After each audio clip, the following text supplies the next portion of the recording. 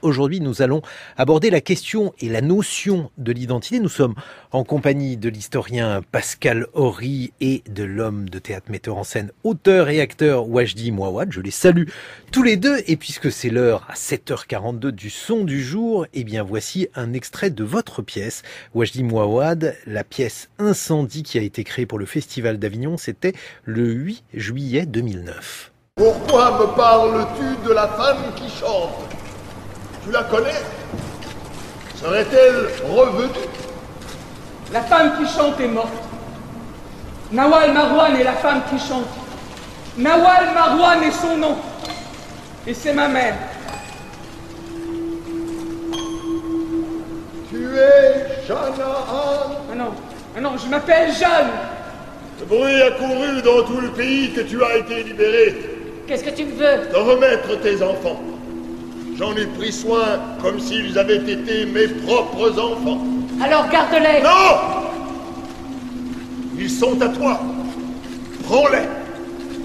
Tu ne sais pas ce qu'ils seront pour toi. Il en a fallu des miracles pour qu'ils se retrouvent aujourd'hui entre mes mains. Et des miracles pour que tu sois encore en vie. Tous trois des rescapés. Trois miracles qui se regardent on ne voit pas ça tous les jours. Un extrait de votre pièce, Wajdi Mouawad, Incendie. Incendie, c'est notamment la quête de deux jumeaux, Jeanne et Simon, la quête de leurs origines et le besoin de comprendre leur histoire singulière, une quête qui va les mener jusqu'au Liban. C'est une pièce qui porte sur la question de l'identité. Euh, je pense que c'est davantage une pièce qui parle de la question de l'héritage de, ce, de cette encreux de l'idée que ce qui n'est pas euh, réconcilié est nécessairement transmis aux générations et qu'une des grandes responsabilités que nous avons, c'est la question de la réconciliation, pas pour, par un esprit comme ça de, comment dire, naïf, mais justement pour éviter de, de de transmettre ce qui n'est pas réconcilié. Euh, et, il y a dans le fait de la transmission de l'irréconciliable quelque chose qui finit par se perdre, de telle sorte que des générations plus tard, euh, on ne sait plus exactement euh, quelles sont les sources des colères collectives les unes contre les autres. Donc c'est davantage une question sur et en ce sens sur la question de l'origine, l'origine non pas de qui je suis moi, mais qu'est-ce qui en moi agit et qui finit par me donner l'impression que je suis que je suis ça, alors que je ne suis pas ça. C'est simplement quelque chose agit en moi. Alors que la question de l'identité, pour moi, est une question qui tournait plutôt vers le futur. L'identité est liée véritablement vers l'avenir.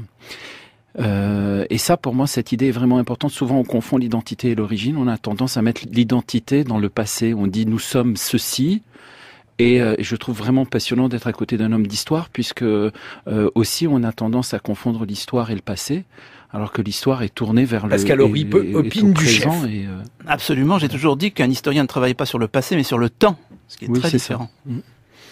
Travailler sur euh, le temps, en tout cas le, temps de Wajdi Mouawad, il a eu au moins eh, trois moments. Un moment au Liban, vous êtes né eh, au Liban, un autre moment au Québec, eh, et puis un moment français. Vous êtes directeur du théâtre de la Colline à Paris, une institution, et vous êtes euh, le seul euh, individu non français à diriger une grande institution culturelle française. Quelle est votre identité? Euh, alors, euh, si je dois c'est un peu pour ça aussi qu'on vous a invité. Euh, oui. Faut sortir sa carte. voilà.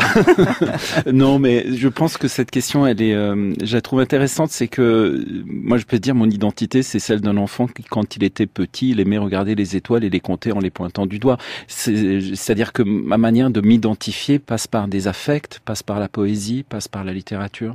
Je dis ça pas par posture, tout simplement parce que il se trouve que justement à cause du du trajet dont vous venez de, parler, que vous venez d'évoquer, euh, il y a ce que je pourrais appeler un non-advenu dans ma vie, qui est pour moi, ça n'existe pas l'identification à un collectif relié ensemble par un ce qu'on pourrait appeler une, une, décision géopolitique qui dit ceci est un pays et voilà, je m'identifie à cette nation-là. Je, je, parce que dire je suis libanais, oui.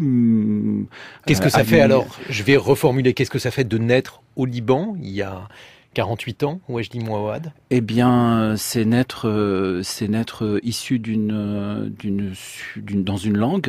C'est, c'est être, c'est naître dans une langue, naître dans un espace géographique euh, où un climat précis s'y trouve. C'est naître et grandir dans un dans un pays confessionnel, euh, un pays qui a été pendant 500 ans sous l'emprise de l'Empire ottoman et donc qui a fait en sorte que les individus qui ont vécu dans cette région ont vécu euh, repliés sur eux-mêmes autour de leur euh, espace géographique et confessionnel et on grandit avec ça. Et peut-être aussi être né dans un pays où la question de l'identité est extrêmement, ou a été extrêmement conflictuelle. Euh, oui, euh, elle a été musulmans, oui, les maronites, euh, les Palestiniens, les Juifs. Oui, tout à fait. C'est-à-dire, mais là encore, c'est très, ça serait vraiment euh, compliqué de tout raconter ici, évidemment. Mais ce qui est, ben, ce qui est vraiment important de comprendre, c'est que justement le contexte historique et géographique et géopolitique est très important dans la manière avec laquelle euh, s'est euh, construite cette guerre civile. C'est-à-dire, on dit aujourd'hui c'est une guerre entre chrétiens, musulmans, etc. Mais en fait, pas tout à fait. C'est-à-dire que au départ, c'était véritablement des positions politiques sur la manière avec laquelle on allait accueillir ou non euh, la population palestinienne qui avait été euh, amenée depuis depuis la création de, de l'État d'Israël vers les vers le Liban et qui les, a, les ont accueillis. Et là, il y avait vraiment des mouvements de gauche qui ont véritablement milité pour l'accueil des Palestiniens. Et il y avait des mouvements de droite et même d'extrême droite qui ont véritablement se sont positionnés contre cet accueil-là. Or, il se trouve que les, les gens de gauche étaient surtout les, le, tout ce qui était les partis communistes, les partis euh, d'une vraie gauche, étaient surtout, euh, on les retrouvait surtout dans le milieu musulman, euh, alors que les euh, milieux de droite, on les retrouvait plutôt chez les, euh, vraiment c'est schématique, hein, on les retrouvait plutôt du côté euh, maronite chrétien d'une certaine bourgeoisie qui euh, qui avait peur parce que elle avait peur parce que c'était les, les chrétiens se sentaient véritablement euh, une bah, enfin seuls au milieu d'un d'une, ils étaient un îlot au milieu de musulmans. Bon, mais c'était véritablement. Et après, ça s'est traduit par une sorte de crispation religieuse où la religion est devenue un outil euh, d'identification. Mais au départ, c'était véritablement les mêmes questions qu'on retrouve aujourd'hui sur la question des migrants en France, sur la question des réfugiés en France. C'était les mêmes questions. C'était pas des questions religieuses, c'était des, des, questions politiques. Et ça, c'est vraiment très important de, de rappeler ça. Pascal Horry, pour l'historien que vous êtes, la notion d'identité, c'est une notion compliquée, c'est une notion qui est venue tardivement. Euh, en histoire, on la trouve euh, dans l'époque euh, récente chez Fernand Brodel, avant je dirais chez Fernand Brodel et pas tellement avant. si, si on fait vraiment la traçabilité linguistique, c'est toujours passionnant pour les historiens. Identité, bon, il y a, le fait que le XXe siècle a d'une certaine façon inventé l'identité administrative. D'ailleurs, les guerres y ont contribué. Les cartes d'identité à travers l'Europe, par exemple, ça correspond grosso modo Première Guerre mondiale, Deuxième Guerre mondiale. Mais l'identité, c'est pas vraiment une question que se pose explicitement avec ce vocabulaire-là les historiens ni les sciences sociales. Et puis Fernand Brodel, effectivement, met une sorte de pavé dans la mare parce qu'on ne s'attend pas à ça de sa part, puisque c'est l'homme de la longue durée, c'est l'homme des grands espaces, et euh, l'identité paraît nous sommes avant la chute du mur, hein, 89, euh, paraît quelque chose d'un peu euh, à la fois passéiste, racorni, réactionnaire, etc. Et lui rappelle que, évidemment, c'est une notion fondamentalement politique, parce que c'est de politique qu'on parle, et qu'on ne peut pas distinguer la révolution de la modernité politique, qui est la souveraineté populaire, et le fait que la souveraineté populaire, au moment de la Révolution française, et dans un pays qui s'appelle la France en particulier, se, traduit par le mot nation, par exemple. Ce qui est une forme d'identité qui aujourd'hui nous obsède, mais qui clairement vient euh, de la gauche vient d'une volonté de, de renversement d'une situation établie. Et on reconnaissait d'ailleurs encore au début du XIXe siècle les, les gens qu'on ne disait pas forcément de gauche, à ce qui s'appelait généralement patriotes ou nationaux. Et, et ça, c'est tout à fait intéressant parce que je pense que dans le débat aujourd'hui, il faut tenir compte des, des rapports entre l'identité individuelle, où dis a répondu par rapport à son mhm. expérience individuelle, vous m'auriez posé la même question, j'aurais dit, bah, je suis né, etc. D'ailleurs, né, vous voyez, né nation, et puis c'est croisé par des, par quantité d'expériences collectives, parce que nous sommes tous des individus et en même temps nous sommes tous croisés par une demi-douzaine de plans, une demi-douzaine peut-être 20, 25 ou 30 plans d'identité collective. Mais alors, ce qui, ce qui signifie qu'avant euh, la publication donc euh, de l'identité de la France par Brodel, puisque c'est à Mm. partir de là que euh, ce- cette notion a été en quelque sorte élaborée, c'est 1986, je crois, l'identité de la France de Brodel. Les historiens parlaient de la France, chez Michelet par exemple, et euh, on peut aussi dire que 1986 c'est quand même très proche comme période, et déjà le terme avait une charge à la fois polémique et politique, Pascal Horry. Oui, parce que c'est contemporain, ce- cette sortie en plusieurs temps d'ailleurs du livre de Brodel, du livre de Benedict Anderson qu'on cite toujours, en 1983, à savoir que la nation, ce sont des communautés imaginées. Sauf que on voit bien que l'imaginaire gouverne le monde, c'est-à-dire que les mythes, qui sont des récits interprétatifs, structurent toutes les collectivités, qu'il s'agisse d'ailleurs de la nation ou d'ailleurs de l'international, parce que quand on dit que la nation est construite, ce que dit Anderson et ce que disent beaucoup de lui à sa suite, et moi ce que je dirais en tant qu'historien du culturel, il faut ajouter que l'international c'est drôlement construit, l'humanité c'est une pure construction. Donc les sociétés ont besoin de construction. Le problème c'est que nous sommes aussi des individus. Moi je me rappelle une petite polémique que j'avais en 68 parce que je suis un vieillard, j'avais des polémiques en 68 avec mes camarades étudiants qui mettaient en avant certaines identités. Il y avait des régionalistes de gauche à l'époque. Je leur disais écoutez moi, je suis comme vous né quelque part, mais ce n'est qu'un de mes plans. Je suis aussi d'une certaine génération, je suis aussi d'une certaine confession religieuse ou pas, etc. Et c'est ça le problème. L'identité, on ne peut pas y échapper. Et je pense que beaucoup d'intellectuels rêvent d'y échapper. Simplement, elle est à mettre au pluriel, au pluriel. Alors, elle est aussi quand même euh, au pluriel parce qu'il y en a plusieurs, au pluriel parce qu'elle est collective et forcément partagée. Et ça, et c'était par exemple la vision de Renan, qui est une vision quand même très française, donc fin 19e. La nation, c'est un plébiscite de tous les jours. Ça veut dire qu'il faut être plusieurs pour être d'accord sur une forme de mythe finalement. Euh, C'était la réponse à la proposition allemande. Il faut savoir que Renan et toute cette génération, c'est des intellectuels qui ont été formés à la langue allemande. Ils ont pensé allemand et le ciel leur tombe sur la tête en 70-71.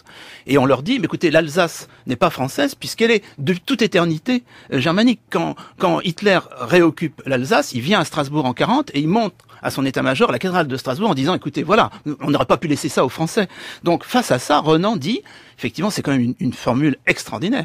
Plébiscite de tous les jours, c'est-à-dire qu'à la limite, l'individu, chaque individu peut voter, et le matin, devant sa glace, dit, mais au fond, est-ce que je me sens encore français? Ou autre chose Ah oui, et d'ailleurs, euh, lorsque Renan commence cette réflexion à l'époque, euh, effectivement, l'identité est fortement liée à l'identité linguistique, avec euh, donc toute une série de, de théories euh, venues d'Allemagne, des théories linguistiques. Dis Mouawad, il y a euh, une constance dans votre trajet d'homme de théâtre qui est donc le, le français. Est-ce que euh, la francophonie libanaise, euh, québécoise, puis euh, française, est-ce que celle-ci façonne une identité? Elle façonne un imaginaire, un vocabulaire? Oui, bien sûr. C'est-à-dire que elle, euh, euh, elle est le, elle est le, la symptomatique d'une mutation. C'est-à-dire, pour ma part, si je dois euh, trouver une manière de parler de cette identité plurielle euh, dont vous, vous venez de parler, je, je, je parlerai de la notion de mutation. J'ai l'impression d'avoir muté, d'avoir muté euh, euh, beaucoup parce que je n'ai pas choisi les choses. Euh, c'est pas la même chose quand un, adulte décide de changer de pays pour des raisons X, Y ou Z, quand c'est un enfant qui suit ses parents et qui donc subit, subit pendant des années les choix des, des adultes, ce qui est tout à fait normal, et donc se retrouve à perdre sa langue maternelle pour des langues nouvelles et se reconstruit à travers une langue. Et dans cette reconstruction de la langue, arrive à devenir ce que je, moi j'appelle euh, un, oiseau amphibie. Et euh, c'est une légende qui est très belle, la légende de l'oiseau amphibie, qui est une histoire qu'on me racontait quand j'étais enfant.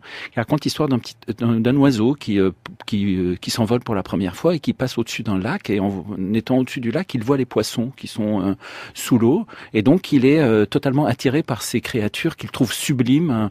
et donc il veut aller les voir. Il plonge, enfin il va vers eux et toute la nuée des oiseaux viennent le rattraper en lui disant non non non non non. Si tu vas vers ces créatures-là, tu vas mourir. Nous ne sommes pas faits pour partager le monde. Eux, ils sont faits pour être là. Nous, nous sommes faits pour être là. Et on n'est pas fait pour se rencontrer. Et s'ils viennent vers nous, ils vont mourir. Si nous allons vers eux, nous allons mourir. Alors, il passe sa vie à voler et à être complètement fasciné par ces oiseaux et un jour, par ces poissons, et un jour, il décide que il préfère mourir et d'aller vers ce qui le fascine plutôt que de mener une vie euh, comme celle qu'il mène. Et il plonge. Et la légende raconte qu'au moment où il traverse la pellicule de l'eau pour rentrer dans l'eau, sa curiosité de l'autre, son amour de l'autre, sa passion de l'autre est tellement grande qu'au moment où il traverse l'eau, des, des, des ouïes lui poussent au cou et il devient, il, il se retrouve devant un banc de poissons. Il leur dit je suis l'un des vôtres, je suis l'oiseau amphibie. Et ça, ça parle véritablement peut-être de notre réalité d'aujourd'hui. Il y a de plus en plus d'oiseaux amphibies dans nos rues. Il y a de plus en plus, c'est la réalité. Et ça devient, de, cette mutation devient de plus en plus réelle. Et c'est là où je vois véritablement un rapport euh, d'identité qui peut rassembler des gens au-delà de la question nationale. Pascal Horry, la morale de cette fable est très belle. Elle me fait penser à la morale de la fameuse fable soufie de la conférence des oiseaux, qui ajoute un autre élément, c'est-à-dire que le grand oiseau Simurgh, c'est tous les oiseaux réunis. Mais il faut bien préciser que l'histoire, avec sa grande hache, comme disait Pérec, arrive pour dire ben, je sépare. C'est-à-dire qu'on peut rêver de ça, on peut faire en sorte que, par exemple, le, progrès du métissage n'est pas contradictoire avec les crispations identitaires. Moi, ce que je disais souvent à mes étudiants, au moment du Kosovo, de l'éclatement de la Yougoslavie, c'est que les Serbes et les Croates peuvent écouter Michael Jackson, euh, il y avait déjà des MP3 ou pratiquement, euh, et en même temps ils s'entrégorgent. C'est-à-dire qu'il y a d'autres raisons pour lesquelles on continue à se séparer. Par exemple, la purification ethnique a progressé, en particulier au, Moyen-Orient. Donc, euh, on ne peut pas donner un sens investi clairement à, l'histoire. Il n'est pas du tout exclu que, pour des raisons, alors d'ailleurs sans doute économiques et écologiques, tout ça se, non pas se termine, parce que bon, mais se poursuivent dans la séparation et qu'on soit pas finalement si amphibie que ça. Peut-être parce que Michael Jackson, on ne l'écoute pas de la même façon lorsqu'on est serbe euh, ou ah, lorsqu'on est croate, ou en tout cas, eh, pour évoquer euh, le thème de la francophonie Wajdi Mouawad, le fait de parler français, d'avoir un rapport avec euh, cette langue au Liban, au Québec, en France, c'est pas la même chose. Non, c'est pas la même chose. Puis c'est et c'est d'ailleurs c'est vrai que c'est par exemple, le, seul endroit au monde où le français n'était pas la langue des élites, parce que vous parlez du Liban, mais le français c'était la langue des élites. Euh, on parlait français. Aujourd'hui, vous allez à Beyrouth dans le quartier Ashrafiyeh, euh, euh, des Libanais entre eux se parlent en français, alors qu'ils parlent très bien arabe, mais ils préfèrent pas. C'est vraiment la langue de la haute, comme vous le retrouviez en Russie ou dans les pays de l'Est. Mais le seul endroit au monde, je crois, où le français n'a pas été la langue des élites, mais la langue des ouvriers, c'est le Québec. Et ça, c'est quelque chose qui est véritablement important, que les Français eux-mêmes euh, euh, oublient.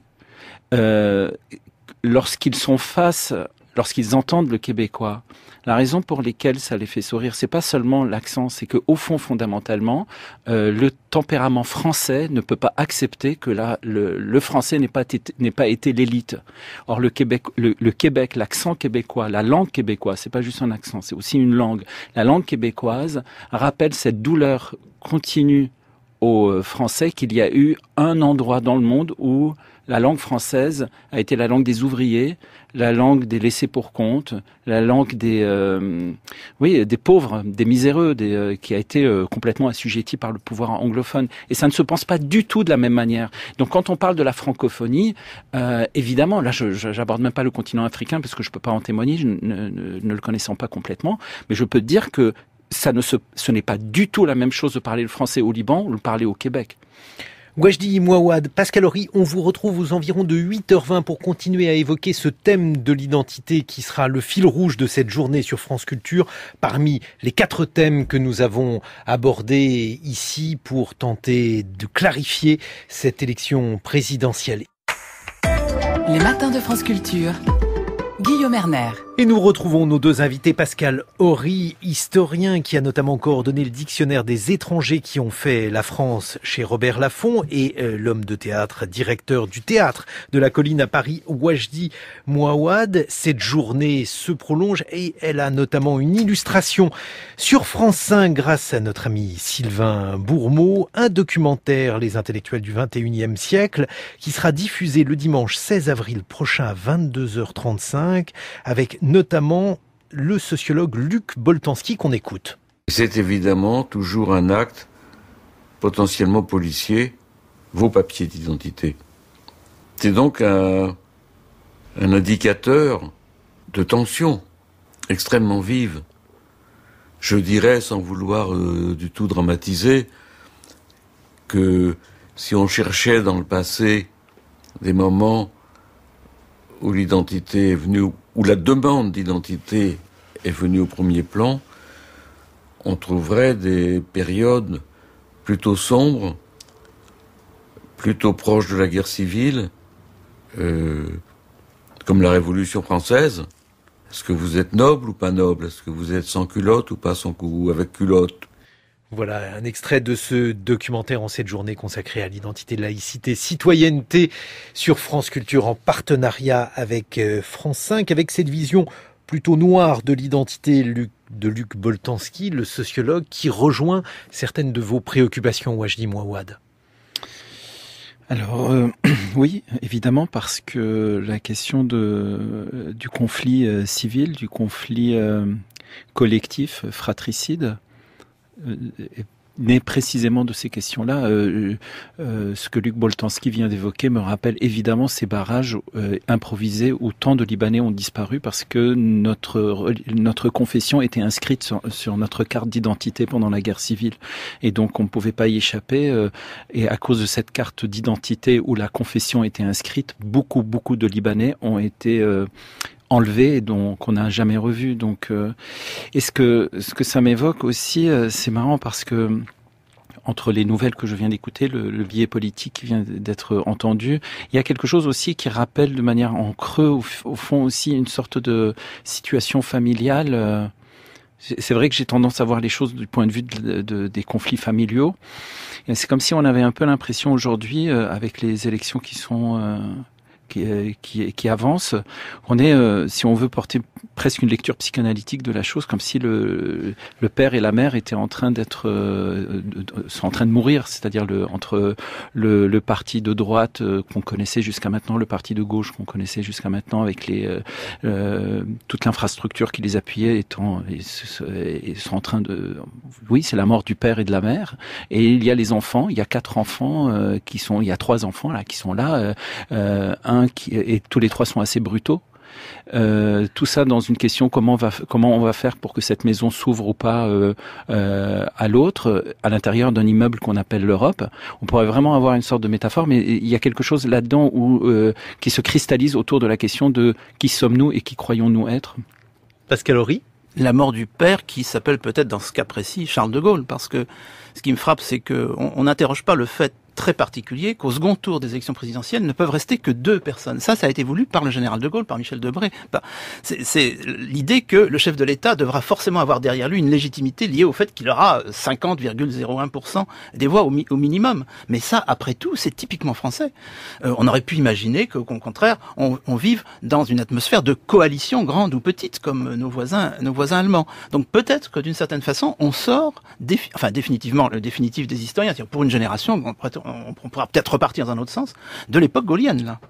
Mais justement parce que alors il y a De Gaulle, il y a Mitterrand. Mitterrand disait le nationalisme c'est la guerre. Wajdi Mouawad, en vous écoutant, en écoutant Boltanski tout à l'heure, on pouvait se dire que pour vous l'identité c'est la guerre.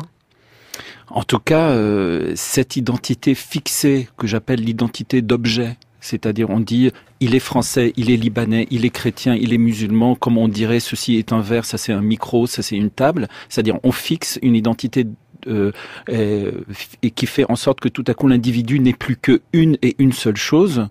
Euh, oui, c'est le premier pas vers euh, vers un aplanissement des profondeurs qui ne peut que créer des des rapports manichéens presque. Autre extrait de ce documentaire de Sylvain Bourmeau qui sera diffusé sur euh, la chaîne partenaire France 5 dimanche prochain à 22h35, le philosophe Vincent Descombes. Nous avons toujours avec nous le problème de la philosophie grecque, qui est de savoir comment les choses peuvent changer. Et alors l'idée euh, naïve, c'est que puisqu'elles changent, c'est pas les mêmes, et donc puisque les choses ne sont plus les mêmes, elles ne sont plus identiques. Et alors cette idée est naïve parce que si les choses ont changé au point d'être devenues d'autres choses, ça veut dire que ce n'est pas elles qui ont changé, et donc elles n'ont pas changé. Elles ont été remplacées. Et l'idée de changement euh, est incompatible avec l'idée d'un remplacement d'une chose par une nouvelle chose.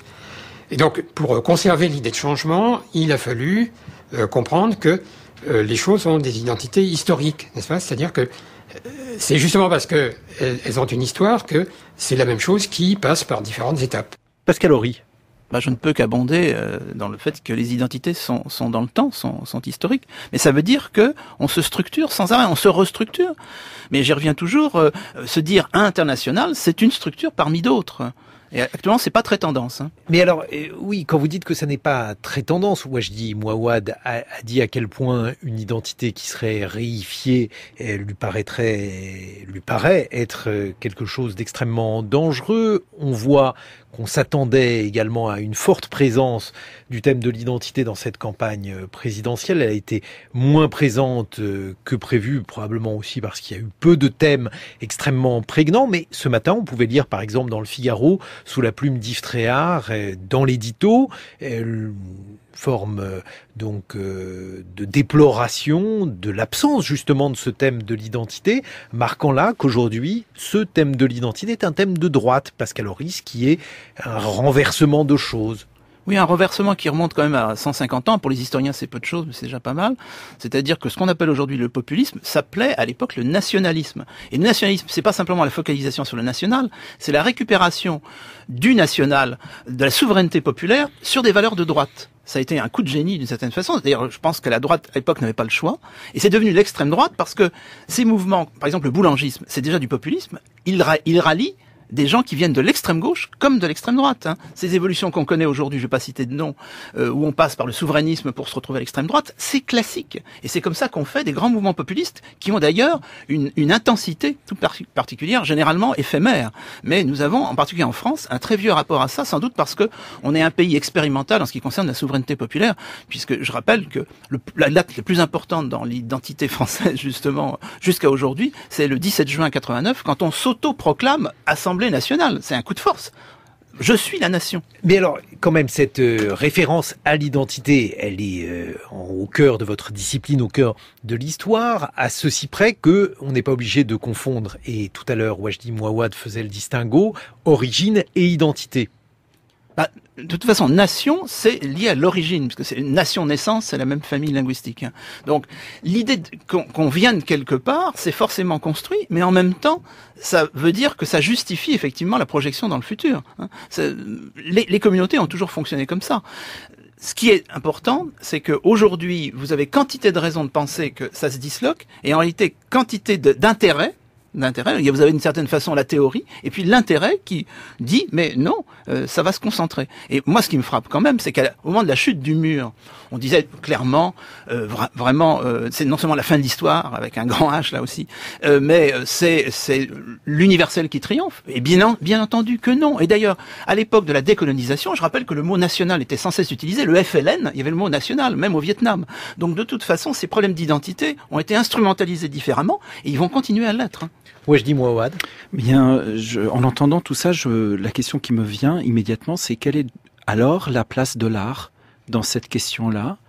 Et euh, d'autant plus que cette question n'a jamais été évoquée par aucun des candidats. Je pense que le mot art n'a jamais, ce serait intéressant de voir qui a dû prononcer le mot art. On prononce le mot culture et encore un peu de travers, mais le mot art est rarement prononcé. Or, il y a une chose, là, si je parle, mettons, du théâtre et du, de, de ce que c'est que la fonction du théâtre, et il est très intéressant de rappeler que le théâtre est cet endroit où euh, un humain parle devant d'autres humains, mais contrairement aux autres endroits d'adresse, qui sont le politique, euh, on va dire euh, le religieux et le marchand, c'est-à-dire que l'homme politique, il parle devant d'autres humains, mais pour les convaincre de voter pour lui. Le religieux parle devant d'autres humains pour les convaincre de croire en quelque chose euh, auquel lui il croit. Et le financier parle à d'autres humains pour lui les convaincre d'acheter quelque chose. Or, le seul endroit où l'adresse de la parole, la parole, les mots sont dites par un humain devant d'autres humains, mais sans d'autre but que de poser la question du mystère, et du coup de dégager, de se dégager de ce que l'histoire, d'après moi, n'arrive pas à nous dégager, de ce que le, social n'arrive pas à nous dégager, de ce que, d'une certaine façon, la politique n'arrive pas à nous dégager, un endroit où on peut enfin se dégager et retrouver un rapport euh, euh, d'être ensemble, justement libéré d'un objet, euh, politique, religieux ou financier, c'est l'art. L'art, on est, personne n'essaye de nous convaincre de quoi que ce soit.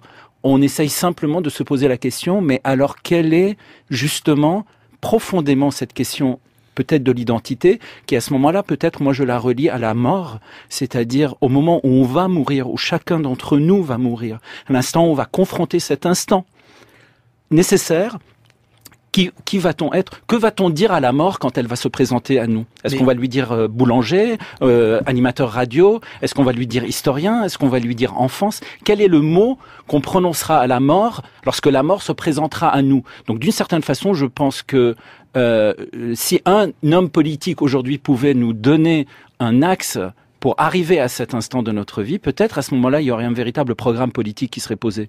Alors, Il y a deux choses dans ce que vous venez de dire, mais l'art a parfois servi également des constructions identitaires, même un peu factices. On songe à, Verdi, et on peut euh, songer à Wagner, enfin, et pas uniquement à des musiciens, hein, Pascal Horry, je vous vois Ben, opiner du chef. Re- Restons, oui, j'opine beaucoup du chef ce matin. Re- Restons dans le domaine du théâtre. Tous les hommes de théâtre, et les historiens confirment, pe- peuvent faire remonter la tradition occidentale du théâtre, parce que le problème, c'est que le théâtre n'a pas le même statut suivant les cultures. Hein. Vaste problème, là aussi. Euh, au grec, bon, le lien avec la démocratie est évident, et encore, puisque Wajdi a parlé de culture et art, la fameuse phrase, quand j'entends le mot culture, je sors mon revolver. Elle n'est pas signée d'Hitler, elle n'est pas signée de Goebbels, elle n'est pas si- si- signée Göring, elle est si- signée d'un auteur de théâtre nazi. Parce qu'il y avait des auteurs de théâtre nazis. Quand il y avait les autodafés, par exemple, ce qu'on ne sait pas, c'est qu'au départ, il y avait une prise de parole par un poète nazi. C'est-à-dire que l'art sert à tout. Leni Riefenstahl, dont beaucoup peuvent considérer que c'est un génie de l'image, a servi le totalitarisme nazi, avec un sens du spectacle extraordinaire. hein. Et alors, l'autre point par rapport à ce que vous venez de dire, Wajdi Mouawad, vous parliez des morts, mais justement, l'identité est euh, perçue, alors par exemple chez Barès, euh, donc dans les romans euh, nationalistes euh, ou dans une certaine tradition de droite, on, trouve ça par exemple dans le dernier livre de Patrick Buisson, euh, l'idée selon laquelle finalement, euh, nous sommes d'abord responsables par rapport à nos morts, et finalement, nous sommes là pour euh, rendre hommage au cimetière avant même d'avoir à rendre hommage aux vivants. Je ne sais pas. Je pense pas de la de cette manière-là. Je, je pense que ce qui me ce qui me la question que je, trouve plus centrale pour ce qui me concerne, c'est l'instant du cet instant de faille entre les deux. C'est-à-dire cet instant de mystère absolu, le moment de la frayeur, le moment de comment on se dirige vers cet endroit-là. Et surtout, euh, d'une certaine façon, ça m'amène à me... euh, et très concrètement, c'est que je, pense beaucoup à cette idée que euh, les, les, les grands moments de danger, c'est les moments des interstices. Et on est peut-être dans un moment d'interstice, c'est-à-dire un moment où on a l'impression que quelque chose est en train de tomber, mais que quelque chose ne s'est pas encore relevé. Et dans cet interstice-là, on peut dire que c'est un peu le- les moments de des monstruosités. Et, c'est-à-dire que cette ce moment de faille, ce moment, c'est pas les morts, c'est nous vivants qui allons vers ce, moment, euh, que ce soit nous ou nos proches, ou nos sociétés, ou ceux, en- nos, nos utopies, nos rêves, enfin, cette chose qui va un jour disparaître, comment on l'accompagne, comment on marche avec elle, et comment on la tient pour qu'au moment où cette chose-là arrive, on puisse tout simplement euh, passer dans un moment, euh, je sais pas comment l'appeler, ce, ce moment-là de, de comment finir, comment comment finir? Pascal Horry Mais significativement, Guillaume Werner, vous avez à juste titre rappelé que Barès et bien d'autres depuis, euh, jusqu'à euh, des personnes que vous citiez d'aujourd'hui là dans le débat, euh, met les morts en avant. Et moi, dans ce que j'ai entendu de Wajdi, il a mis la mort. Je crois que c'est la grande différence. grande différence, mais euh, ju- justement lorsqu'on euh, voit l'identité au Liban, puisque dans la manière dont la guerre civile est demeurée dans la mémoire. Je pense aussi à Sarajevo, puisque vous aviez euh, parlé des Serbes et des Croates.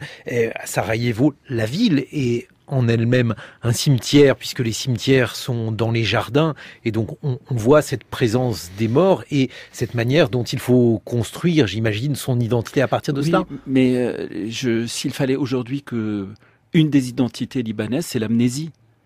Et je ne sais pas si c'est une bonne identité.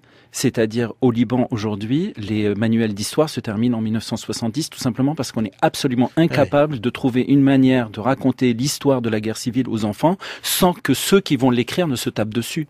Euh, je pense que là-dessus, l'Allemagne est un très bon exemple. Euh, il y a un très beau livre d'Olivier Guès qui euh, évoque la question euh, du retour des Juifs en, Allemagne, qui s'appelle, je pense, l'impossible retour. Je, je, suis pas sûr du titre, mais dans ce livre-là, en le lisant, je me suis rendu compte que l'Allemagne a réussi quelque chose. Je me dis que j'ai l'impression que ni l'Espagne franquiste, enfin l'Espagne d'aujourd'hui n'a pas encore réussi à faire, ni en tout cas le Liban. Si je parle de mon pays, le Liban n'a absolument pas réussi à enterrer ses morts. Il n'a pas réussi à le faire. Ça, c'est une distance qui est trop brève. Euh, la guerre des années 70 au Liban. En France, j'ai vu par exemple euh, des affiches pour euh, le musée de la Grande Guerre à Meaux, où on voit un petit enfant jouant avec des jouets et, une vision complètement irénique de, de, la guerre, avec évidemment un contraste absolu par rapport à ce que fut la guerre de 14-18. Est-ce qu'il n'y a pas là une mise à distance, en quelque sorte, une preuve par l'image que nous ne sommes plus du tout capables de comprendre cette identité qui a conduit tant de millions de morts en France et en Allemagne à eh, mourir pour euh, des idées qui nous apparaissent aujourd'hui comme incroyablement vaines, Pascal Horry bah, une fois de plus, le temps fait son œuvre, mais encore faut-il qu'il y ait eu euh, une fin, une rupture. Il y a quand même eu la chute d'Hitler, par exemple, ou de Mussolini, etc. Dans le cas du Liban, cette fin est sans fin. Donc, euh, bien entendu, il faudra que le Liban fasse ce travail, du moins on peut le rêver. Après tout, le Liban est une création, est un État-nation qui est une création française. Il hein.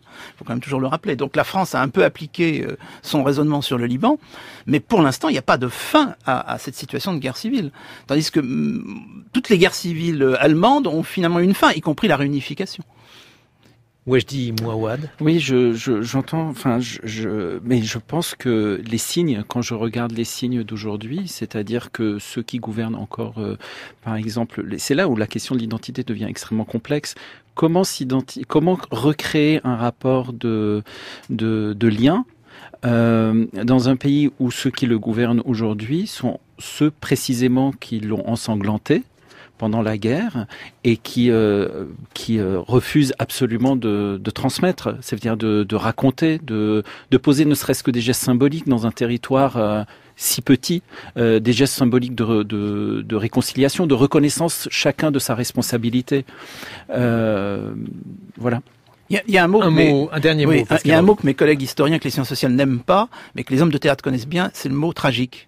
Donc ça, ça, ça on vient d'entendre le tragique.